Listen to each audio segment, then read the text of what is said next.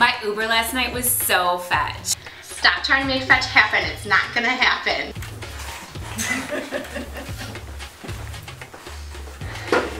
Can't sit with us.